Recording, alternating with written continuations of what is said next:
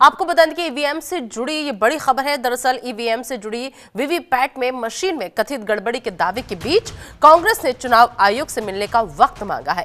कांग्रेस के महासचिव जयराम रमेश ने चुनाव आयोग को चिट्ठी लिखी है और इस चिट्ठी में कहा गया है कि कांग्रेस के तीन से चार लोग चुनाव आयोग के सामने वीवीपैट मशीन पर अपना मत रखना चाहते हैं।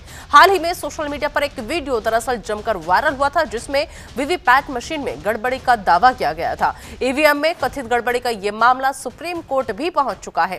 कांग्रेस ने चुनाव आयोग को बकायदा इसके लिए चिट्ठी लिखी। जयराम रमेश ने चुनाव आयोग को यह चिट्ठी लिखी। जयराम रमेश ने मिलने का वक्त मांगा है। तो वीवीपैट पर मत रखना चाहते हैं यह कहना है कांग्रेस पार्टी की तरफ़ से जयराम रमेश का। तीन से चार सदस्यीय टीम जो है, वो मिलना चाहती है। तो अहम खबर, बड़ी खबर, क्योंकि लगातार विपक्ष जो है ईवीएम को मुद्दा बनाता आया है। विपक्ष लगातार ईवीएम में गड़बड़ी के आरोप जो है वो लगाता आता है। और अब देखना होगा कि जिस तरीके से चुनाव आयोग से मिलने का समय जयराम रमेश की तरफ़ से मांगा गया है, तीन से चार सदस्यीय टीम जो है वो मिलना चाहती है, अपना मत जो है वो रखना चाहती है। लिहाजा इसके लिए कांग्रेस ने चुनाव आयोग को बाकायदा चिट्ठी लिखी है। अब आपको बताने की जयराम रमेश ने चुनाव आयोग को ये चिट्ठी लिखकर के मिलने का वक्त मांगा है और ईवीएम को लेकर के कई सवाल वीवीपैट को लेकर कई सवाल जो थे वो दरअसल लगातार कांग्रेस पार्टी की तरफ़ से, तमाम विपक्षी दलों की तरफ़ से उठाए जा चुके हैं। अब ऐसे में ईवीएम की शिकायत लेकर के चुनाव आयोग कांग्रेस पार्टी पहुँची है। जयराम रमेश ने चुनाव आयोग से मिलने का वक्त मांगा है। तो एक बार फिर से ईवीएम पर संग्राम जो है वो देखने को मिल रहा है, क्योंकि अब ईवीएम की शिकायत लेकर के कांग्रेस पार्टी चुनाव आयोग पहुँच चुकी है। दरअसल पिछले दिनों आपको याद होगा कि ईवीएम को लेकर, वीवीपैट को लेकर के एक वीडियो जो था वो जमकर वायरल हो रहा था, जिसमें साफ़ तरीके से दिखाया जा रहा था कि हाँ इसमें भी गड़बड़ी हो सकती है। इसके साथ छेड़छाड़ जो है वो की जा सकती है। इसी छेड़छाड़ के, इसी गड़बड़ी के आरोप लगातार विपक्ष की तरफ़ से लग उठते रहे हैं। और अब ये अहम खबर कि ईवीएम पे एक बार फिर से संग्राम, क्योंकि 2024 का लोकसभा चुनाव होना है, ऐसे में लगातार मांग विपक्षी दलों की तरफ़ से ये की जा रही है कि आप इस बार के चुनाव में ईवीएम का सहारा मत लीजिए। आप सीधा सीधा बैलेट पेपर से चुनाव जो है वो कराइए, उसके बाद पता चल जाएगा कि बीजेपी को लोग वाकई में इतना पसंद करते हैं या फिर ये सब कुछ ईवीएम का खेल है? क्योंकि ईवीएम में गड़बड़ी का आरोप विपक्ष लंबे समय से लगा रहा है। अब ऐसे में ये मामला जो है, बाकायदा एक बार फिर से संग्राम की तरफ़ बढ़ता हुआ दिख रहा है, क्योंकि लोकसभा चुनाव होने हैं। ऐसे में ईवीएम की शिकायत लेकर के अब कांग्रेस पार्टी जो है, वो चुनाव आयोग पहुँची है। जयराम रमेश ने मिलने का वक्त मांगा है।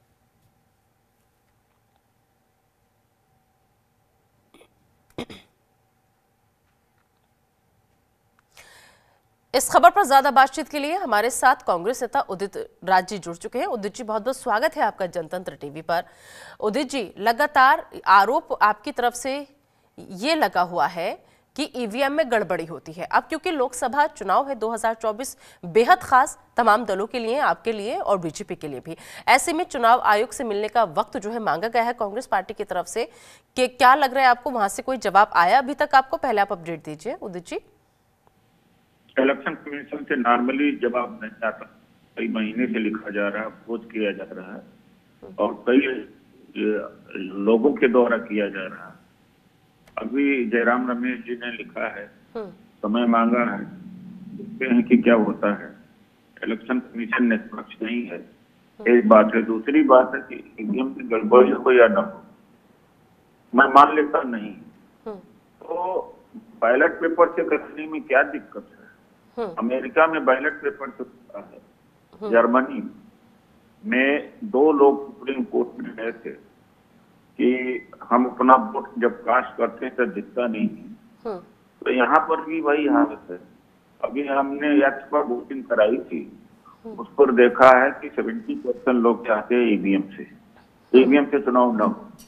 तो सुप्रीम कोर्ट के निर्देश के आधार पर जर्मनी में पूरे यूरोप में बैलेट पेपर लौट गए वो इतने एडवांस्ड हैं उसके बाद में भी ईवीएम पर वो नहीं कर रहे। अभी कहते हैं कि समय लगता है। अरे जनतंत्र की कीमत बहुत होती है। उसके लिए एक महीने भी समय लगे कोई कम नहीं है। आज़ादी लड़ाई में लाखों लोगों ने लाखों लोग जेल गए हज़ारों वो मौत घाट उतार दिया गया। जनतंत्र और आज़ादी की कीमत के लिए ये क्या है? अमेरिका में तो दस दिन तक बैलेट पेपर की काउंटिंग होती रहती है। जी। उदित राज़ी सवाल यह है देखिए आप लोग लगातार ये बात कह रहे हैं कि ईवीएम हटेगा तभी देश बचेगा क्योंकि ये देश का सवाल है। देश को बचाने के लिए सभी देश के लोग एक साथ आए। देश के लोग आपके साथ आ जाएँगे लेकिन आपके साथ जो बाकी और दल हैं क्या आपकी इस मुहिम में वो सब भी साथ खड़े हैं? आईएनडीआईए में जितने शामिल हैं। इंडिया गठबंधन में जब मीटिंग हुई थी लास्ट उन्होंने तो कहा था हाँ। कि हम जो है ईवीएम ईवीएम से चुनाव नहीं होना चाहिए। तो हमारे जितने एलाइज है एग्री एग्री पहले ही हो चुके हैं। हम्म। अभी एक वीडियो जमकर के वायरल हुई थी उदित जी मैंने खुद भी देखी थी जो कई बार सोचने पर मजबूर भी कर रही थी। लेकिन क्या ये वो जो वीडियो वायरल हुई सुप्रीम कोर्ट तक मसला पहुँचा? तो आपको लिए अपनी बात रखने के लिए ये वीडियो कितना काम आएगी कि हाँ ईवीएम और वीवीपैट मशीनों से छेड़छाड़ हो सकती है? वीवीपैट जब से लगाया गया तब से एक और सॉफ्टवेयर जोड़ दिया गया। हाँ, और वीवीपैट से जो डाटा जाता है कंट्रोलिंग यूनिट में चिप्स में हाँ, वो क्या जाता है? चिप्स में हेरा फेरी है। मान ली वीवीपैट में सात सेकंड के लिए पर्ची दिखती है कि किसको वोट डाला गया। हम्म, लेकिन वीवीपैट के बाद का जो दूसरा सॉफ्टवेयर है हम्म, वो चिप्स का सॉफ्टवेयर है। उसमें क्या हैंकी पैंकी छेड़ खा रहा है उसको कोई नहीं जानता। और सवाल इस बात का है कि जब लोगों को विश्वास नहीं है एडवांस कंट्रीज़ ने सबने छोड़ दिया है और बैलेट पेपर लौट गए हैं। तो भारत में क्या दिक्कत है।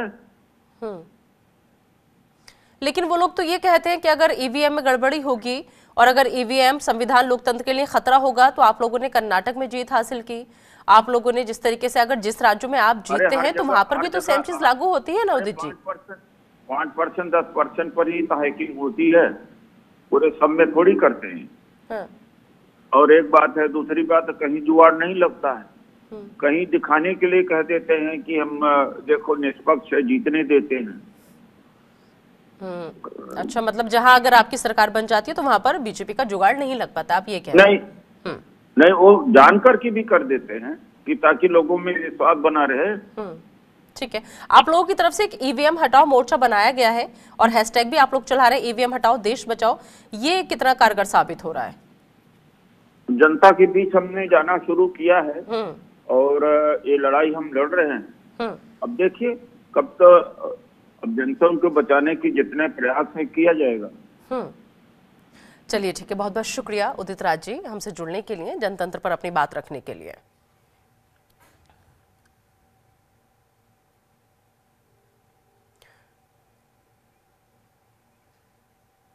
तो दरअसल ईवीएम की शिकायत लेकर के एक बार फिर से कांग्रेस पार्टी जो है वो चुनाव आयोग पहुँची है, क्योंकि कांग्रेस पार्टी का लगातार ये कहना है कि ईवीएम जो है वो संविधान और लोकतंत्र के लिए खतरा है। ईवीएम से जो चुनाव हो रहा है वो निष्पक्ष नहीं है। इसी वजह से ईवीएम हटाओ, मोर्चा जो है बाकायदा बनाया भी गया है। और अब देखना होगा कि जयराम रमेश ने चुनाव आयोग से मिलने का वक्त जो है वो मांगा है।